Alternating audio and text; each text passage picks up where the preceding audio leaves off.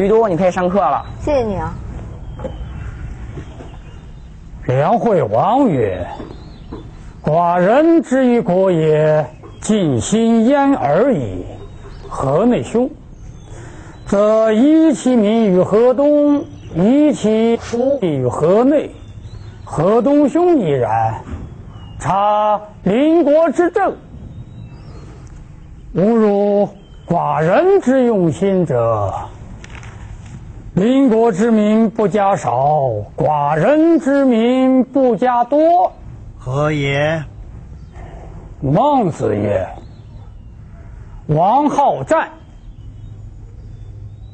请以战喻，恬然古之。兵刃既解，弃甲兵而走，或百步而后止，或。”五十步而后止，以五十步笑百步，则何如？曰：不可。止不百步而失亦走也。曰：王之如此，则吾望民之多于邻国也。窗子像幅画，画中有个头。笑什么？好。梁惠王问，孟子对答：邻国之民不加少，寡人之民不加多，作何解？黄耀祖。你来解释。因为梁惠王乃好战之君，每战必然死伤，故民怨之。还有谁来解释？嗯，好吧。呃，冯炫，你说说看。嗯，梁惠王虽说其好战。嗯，我其乃精于算计之君。孟夫子以战争做比喻，说国王救济灾民百姓，嗯，对，对自身有利的尽全力；反之，他只出了一半的力量而已。所以，邻国之民不加少，寡人之民不加多。错错错！言辞已毕，邻国不恤其民。梁惠王虽能行其名。梁惠王道以养其民，不可以此而笑彼也。唉，你们真惭愧！非礼勿视，非礼勿听，非礼勿言，非礼勿行。唉，哎，你是谁家的孩子啊？怎么老爱卧在这窗下一待就这么久？哼，我说谁那么滑稽呢？原来是我家穷放牛的。哦，放牛的娃，你想不想到屋里念书啊？哎呀，那么臭气冲天啊！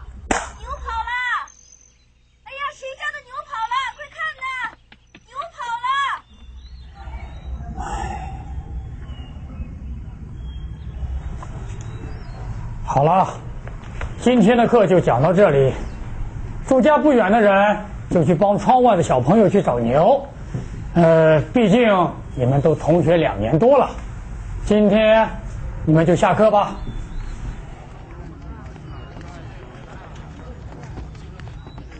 你怎么不去找牛啊？那是我家的牛，他给弄丢了，叫他赔就是了。好吧。既然你不愿意放学，我们过去课堂上读过的《中庸》，你从《中尼》曰：“君子中庸，小人反中庸。君人之中庸也，君子而时中；小人之中庸也，小人而无忌惮也。”这段棋背给老师听听。不是已经下学了吗？我现在是单独给你上课。站起来背。那是两年前教的。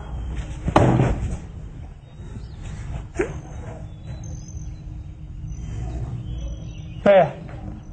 嗯，所谓修身乃心，乃正其其心者，身有所愤怒，则不得其正；有所恐惧，则不得其正。嗯，啊，有所有所好乐，则不得其正；有所忧患，则不得其正。心不在焉，视而不见，听而不闻，食而不知其味，此谓修身在其心。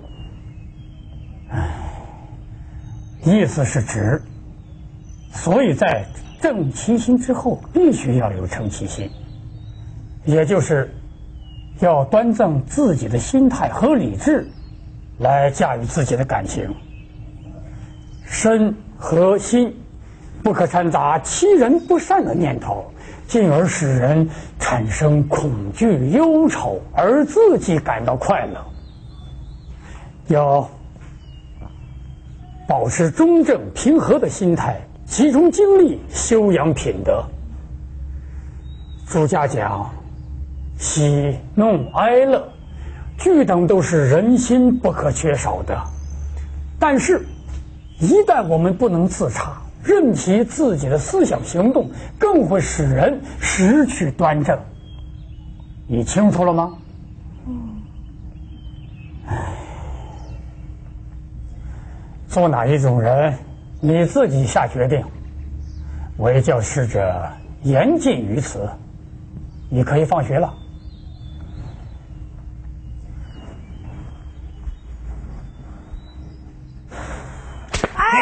打死你！牛跑了，你也不知道去找。哎哎哎！你这打个孩子行吗？哎，怎么他去找他来？打死你！哎呀，哎呀，冯家管事的，给我站住！哎呀，哎，冯冯家管事的，你你停一下，不，不能再打这孩子了。老夫子，你不晓得，他为我家主人放牛，可牛跑丢了，他也不知道去找。哎呀！那你也不该打他嘛！这孩子太可恶了，经常两三天都不给牛洗澡。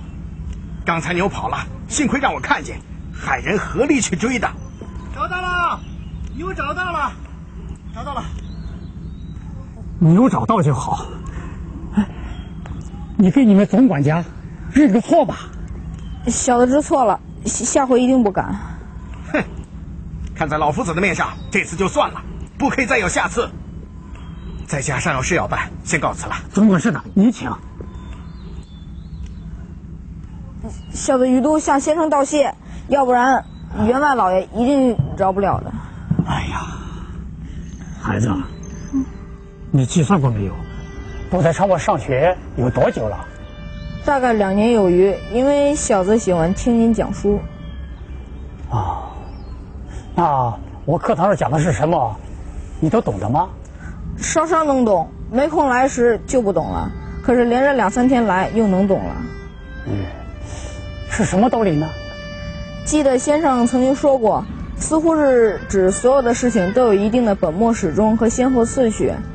如果懂得先后，记住主要的，次要的就容易得心应手。所以我就谨记主要的。嗯，都是在那墙上画的吗？是的，下雪了，我就全刻在上头。嗯，从前有个山啊，山里啊有个庙，庙里啊有个和尚在讲故事。他讲的什么故事呢？他说，玉都在家吗？哦哦，我是咱们这镇上教书的先生。哦哦，您是？我是他父亲啊。杜二去放牛还没回来，哎，来坐吧，坐吧。好。哎，好好好，平儿，给倒杯茶啊。我老爹啊，啊，杜儿到哪儿去了？哦，他去放牛还没回来啊。哦。哎，好孩子。啊 呃，是这样，我想让令公子到我师所读书。不知你意下如何呀？公子，哎呀，夫子，您客气了。哎呀，我们是穷人家，没有钱读书啊。我可以免去孩子的一切学用。哦，这倒是好事儿啊。哎呀，可惜呀、我们家人丁稀少，这两个孩子的娘又死得早，我还指着于都给我们家干活呢。我看就算了吧。我说这样吧，孩子放学以后和闲暇时间，他可以做些家务。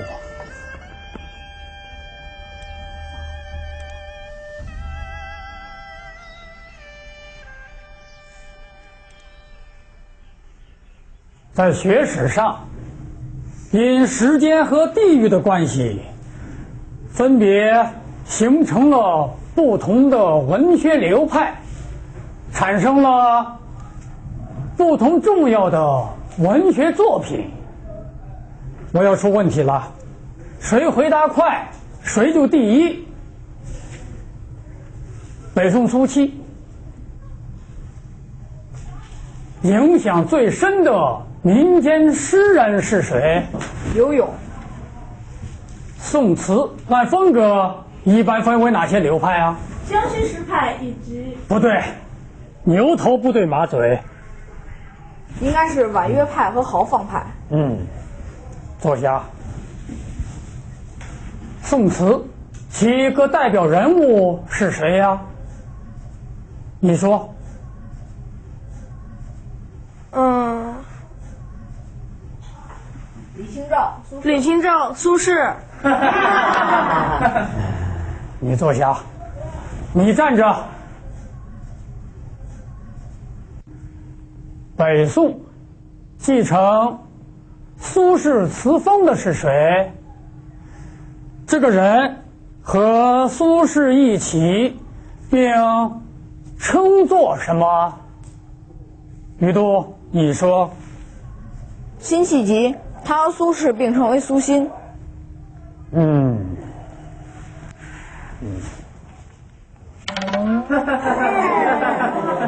啊，于多，你不用再蹲在墙下了，回到位置上坐。哎，这都是我过去教过的，你们怎么转个身就忘了？从此以后，我就正式到先生那去上学了。第一天的表现，使我卑微的心灵获得了鼓励，因为一直习惯坐在地上，还有些晕头转向的我，结果还闹了这么个笑话。怎么有股牛屎味啊？哎呀，狗饿了，吃牛屎了。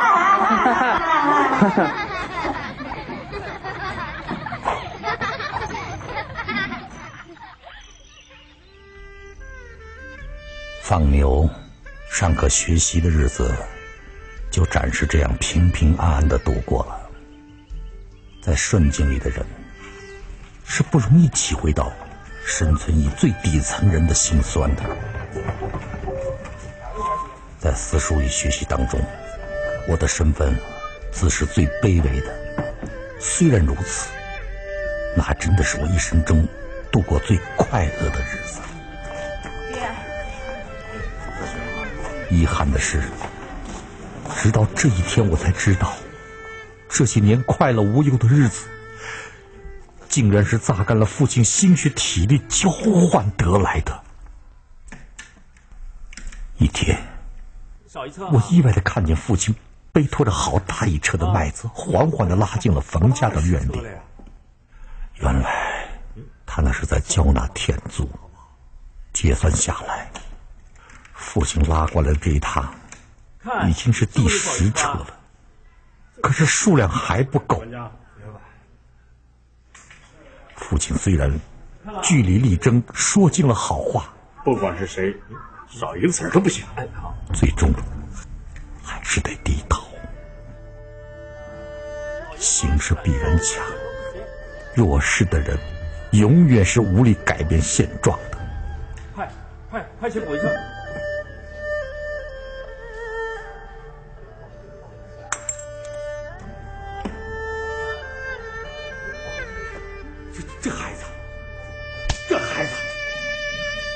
幼稚的举动，一是还阻了冯家强势凌人的气焰，但却无法帮助弱者悲哀的处境。这也是我第一次感到自身的渺小和无助啊！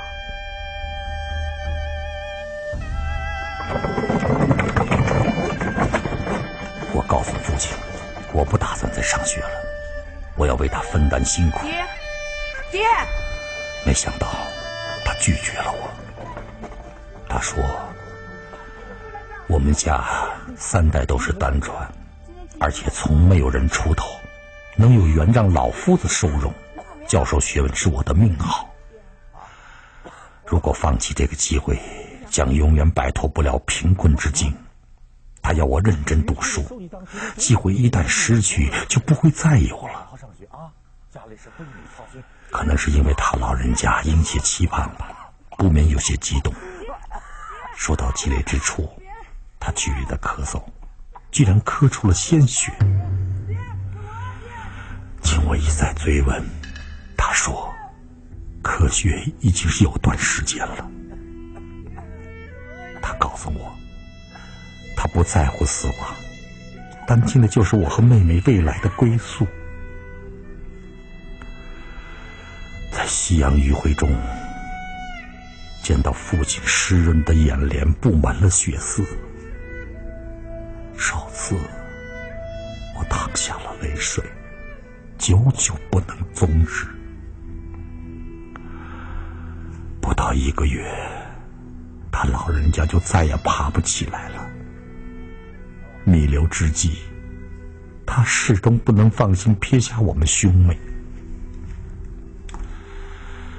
幸亏先生得知了这件事，答应收留我们。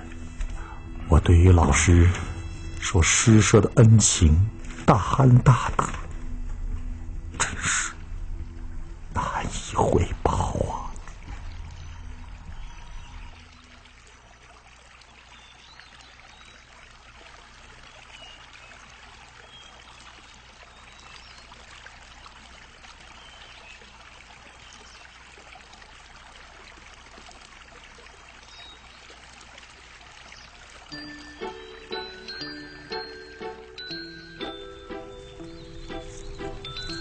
娘送花，不是娘送花，娘是爹给娘送花。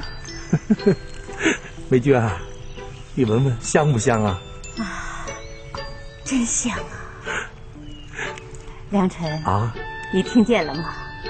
敏儿现在跟我们说话了，说话了。哎。好，说话了。现在呀，会沟通了。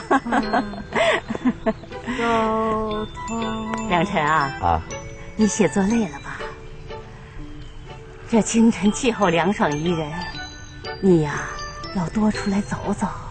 哎，嗨，累倒不累啊。就是啊，我一写的过去，回想起那些往事啊，心情。就不能平静了。哎，这是好事啊！难得你福至心灵。你写到哪儿了？啊，我是好写到第一次到你们家，见到你的情景啊。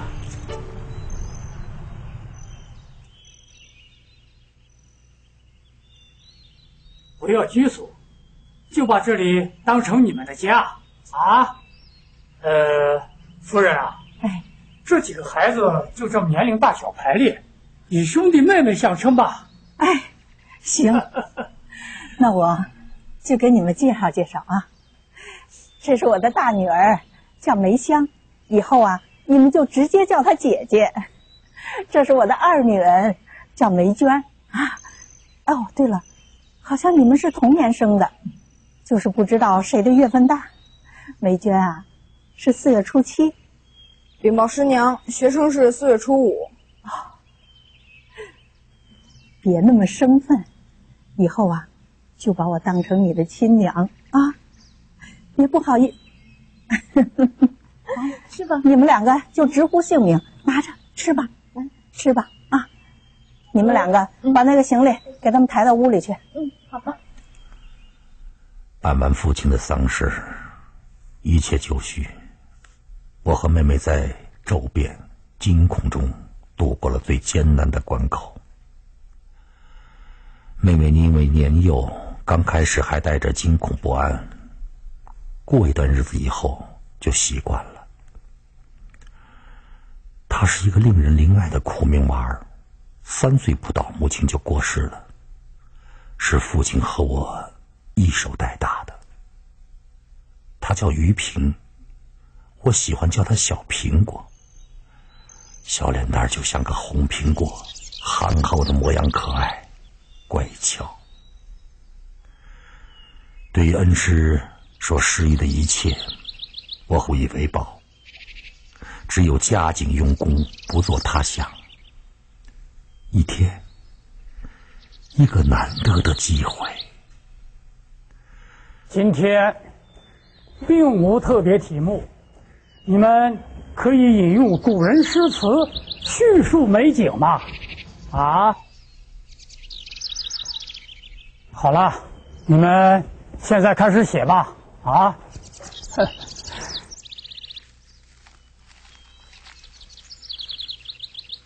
我写下张先的《菩萨蛮》：一郎还上层楼曲，楼前芳草年年绿。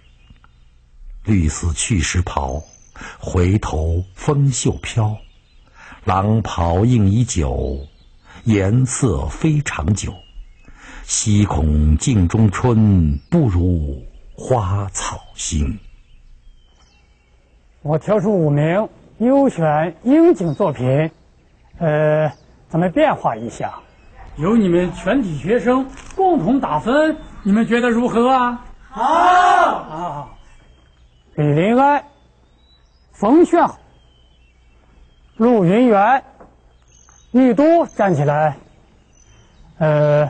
你们觉得黄耀祖好的就举手，嗯，李林安好的就举手，嗯，觉得冯宪好的就举手，觉得陆云元好的，你们就举手，觉得玉都好的就举手。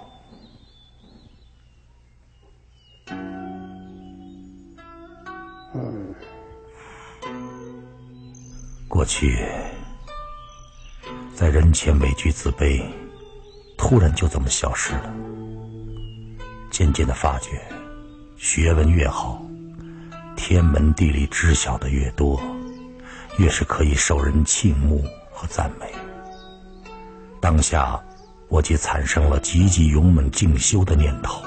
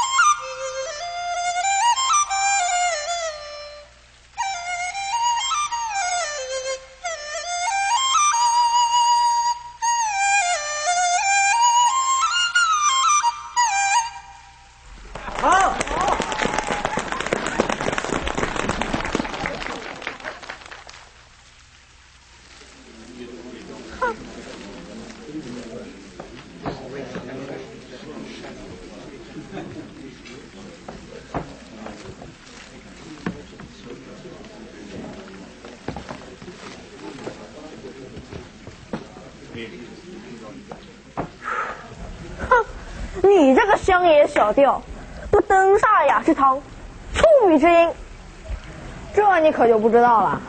我虽然吹的是小调，可是他所歌唱的题材十分广泛，相承种种不同阶层的生活，风土民俗、世态人情、娱乐游玩、离愁别绪，小调几乎无所不包。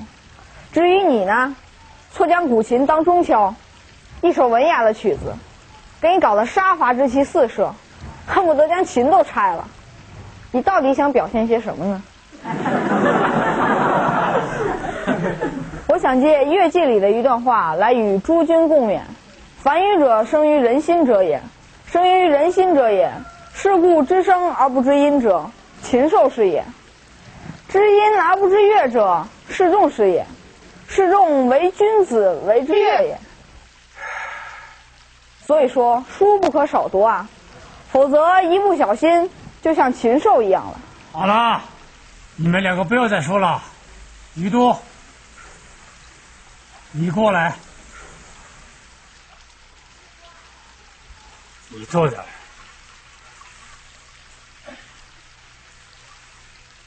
所谓包读诗书。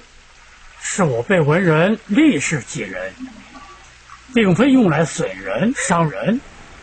若是只知数，定未能解理，只是表象而已。凡事，一切学问，必须要深解其意，否则只会伤害自身，福德而已。我重重的击倒了风轩，有一种无法言喻异常的快意。夫子说了什么？我没有听见。眼前出现了彩色缤纷的世界。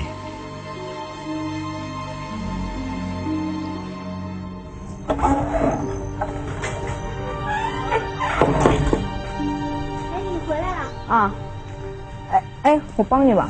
行，我拎得动。没事，我帮你。是衣服重，我帮你拧干吧。好的，那待会儿咱们先把大被单收了，再晒衣服吧。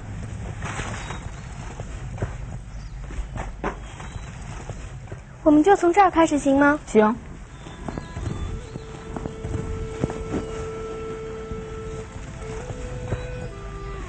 喂。啊？我应该叫你什么来着？嗯，我不知道。嗯，应该呃，就就叫于都吧。母亲说，你该叫我什么？你应该知道我名字吧？嗯，那个。你叫梅娟，照理来说应该叫叫你一声妹妹吧？应应该叫姐姐吧？我我比你大两年。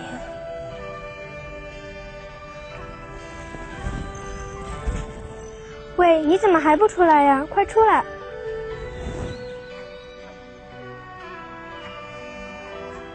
嗯嗯，给你。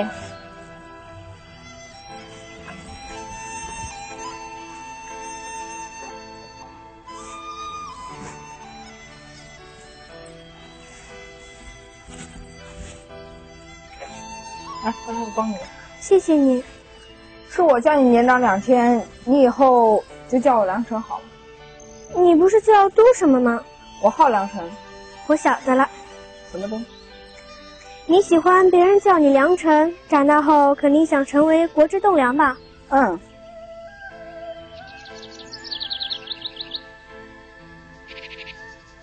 你这人怎么这么不爱说话呀？你说就好。前天下午，我和于萍妹妹看到茶会会里你表演的一切，啊，你觉得如何？我能说不好吗？但请不吝指教。我看见你和冯家富才子比试的精彩，不像平常的你。哦，他是县城首富，他这人呢比较喜欢炫耀，挺惹人讨厌的。大家都在看他笑话呢。他呀，忘了断了弦的琴。坐哪都不知道，回自己的位置都忘了，还是好傻。那人叫梅娟，这是我们首次见面的情形，因为有缘吧，可以说彼此相看两不厌。我看你们有说有笑。时至青少年龄的我们，真是花自飘零水自流，一种相思，两处闲愁，此景无计可消愁。才下眉头，却上心头的写照。美娟，还有两个菜，去端去。呃，你去拿汤匙。哦。哎呀，你们两个装看来看去的干什么？还撞我，长啰嗦。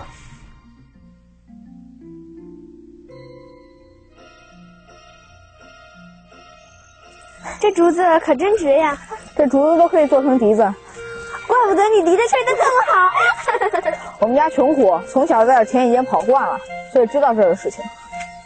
你在干嘛呀，扫什么？哥哥在赶蛇啊！哎，等等，别怕，蛇也怕人。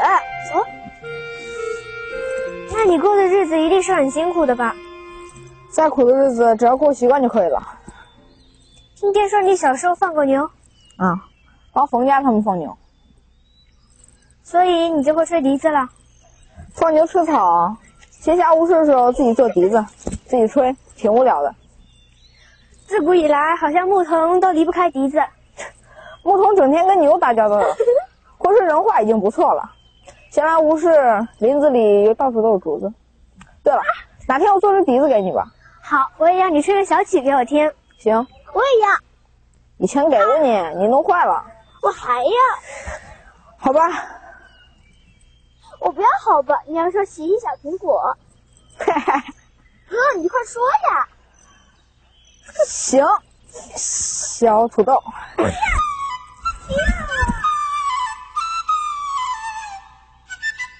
哥，哥哥，哥哥，梅姐姐姐。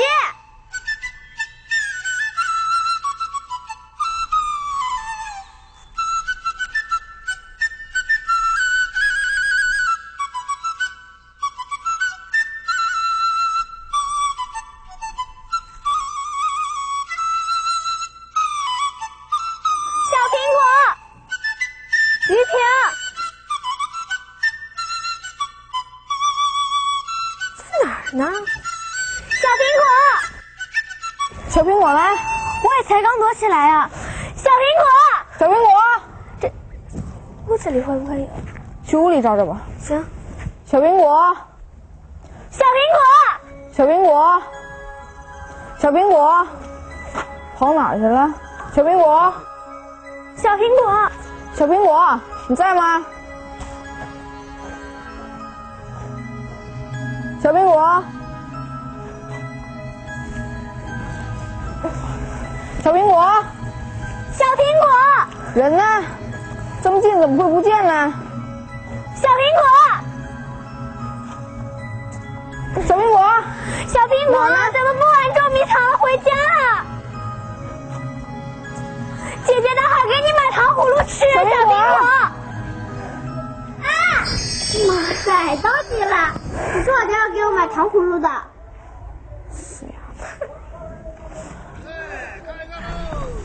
说睡就睡，他还真能睡啊！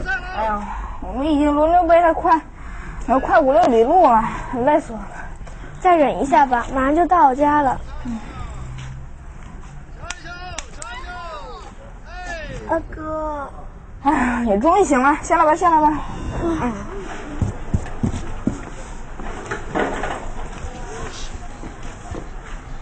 小孩别乱摸。你也喜欢刺绣？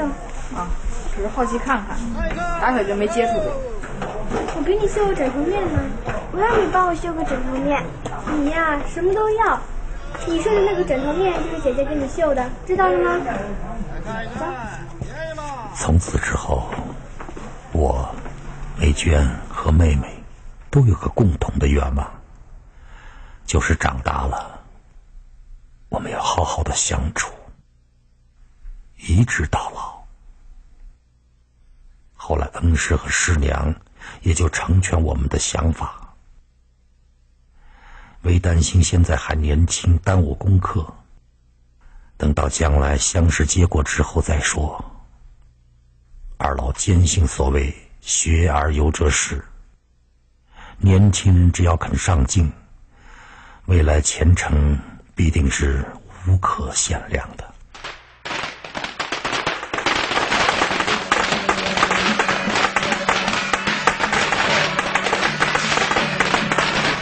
就在年底，梅娟的姐姐梅香经媒人介绍了一位对象。男方是句湖南，是做生意的。经过相亲，家长同意，订婚期在春季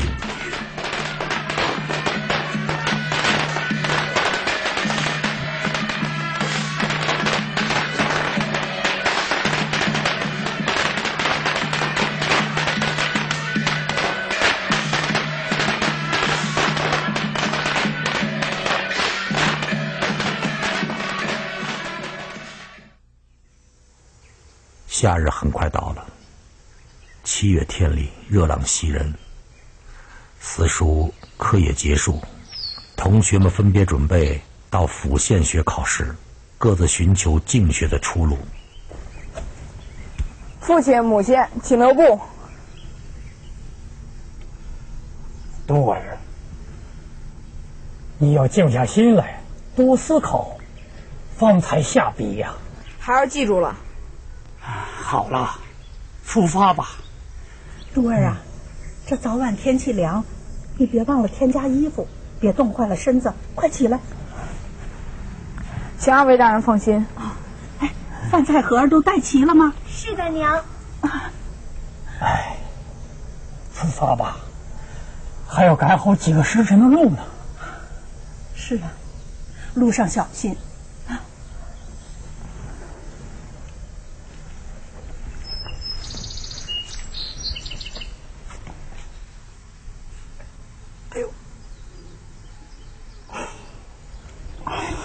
老爷？又疼了？哎，天冷了，有点寒呐。赶紧回去吧。回家吃药。哎呦！第一次考乡学考试入学的日子到了。虽说，仅是入学小考，我们家可以说是全家惊动。子时不到就起床了。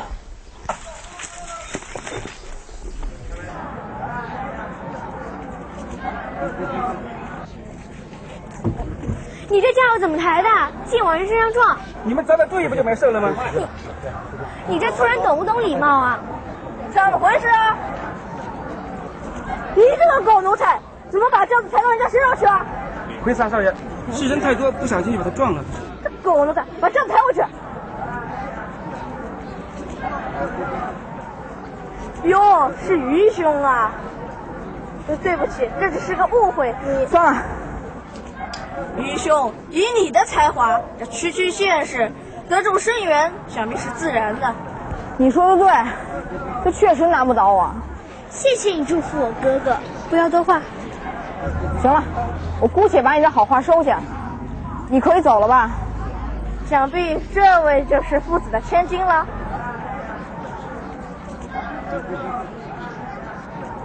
这位仁兄，你是来陪考的吗？否则，给我站到后面去。后面排队去。不是欺人之事。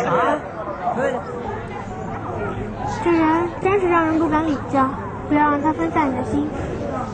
原来他就是你说的那个坏人啊！是啊，是坏人，也是仇人。别理他就是了。四川省布政使行都司。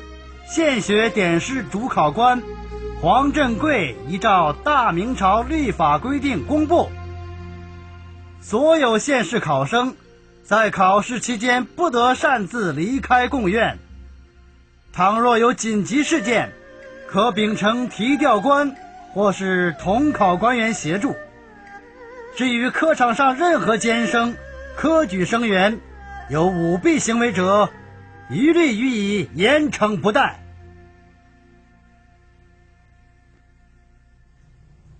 大爷，哟，于少爷啊，你回来了啊！快回家看看吧。怎么了？你家老父子好像生病了啊？严重吗？这几天郎中来几次了？谢谢啊。哎，快看看去。娘，娘，多儿，你回来了，老师的病又发了，他又心疼了。爹，爹呢？大夫说他中风，半身子不能动。他刚睡着，你考的怎么样呀？还行。这个是急救方子，要连服三天，每天至少三剂。哎，这个是早晚各服一剂。需要注意的事情都已经写在纸上了，要抓紧时间配药，千万不要耽搁。哦，郎中啊，那前天开的那方子，哦，那个等病情稳定之后再服用吧。哎，多儿，快来，来过来，快，赶快到药铺给你爹抓药，不可耽搁。我身上还有，拿着不够的，快去，哎，快去快回啊！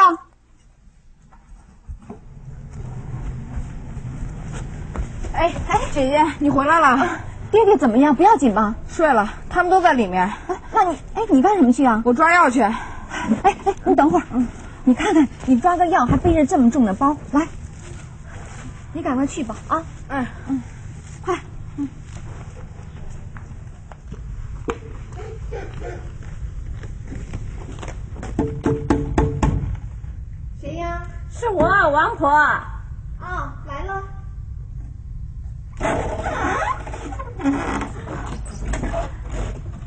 王婆啊，您您请进。喝点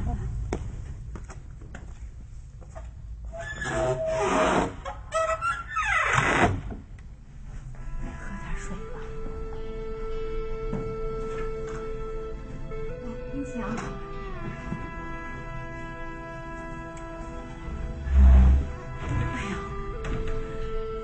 家人及宗族长辈们的意思是说，要我和梅娟趁老师在病情稳定时，尽快的完婚。另一方面，也希望能够用喜庆驱散厄运。这晚，他们请来了王媒婆，共商婚礼之事。大家都一致同意这桩婚事。年前，每个人都在上下忙着。姐夫先行返回了湖南，家中人手不够，姐姐留下帮忙。婚礼选在八月举行。这年时值入秋，气候适中。临近婚礼的日期前两个多月，老师既然可以下床走动了，除了半生还有些马屁之外，可以说已经快要痊愈了。正值桂花飘香的时节，一切都显得那么顺利美好。同时，发榜的日子也快到了。哎哎，大宝大宝，别急我！哎，别急，我看看，哎，在哪呢？哎哎，有我没有？看看看看，看了，我没看别到呀。急，给他踩我！别急别急，哎，那那那那那，哎，让我看看，我怎么看见呢？挤什么呀？好没事。哎哎，好，看看。算了，甭找了。看不见呢，我也看不见呢。在哪啊？是你吧？那个，哎，这个是谁啊？哎呀，看见了吗？这这这是啊。还有这个，找人看有没有？哎呀，居多，居多，哥哥，你看见了没有？哎，哥哥你中了，你胡说！真的中了第一，在哪呢？哥，在这呢。哎呀，没有，他中了第一啊！哎呀，刚才他中了，看到啊！我第二中了，没有看到啊！第一啊！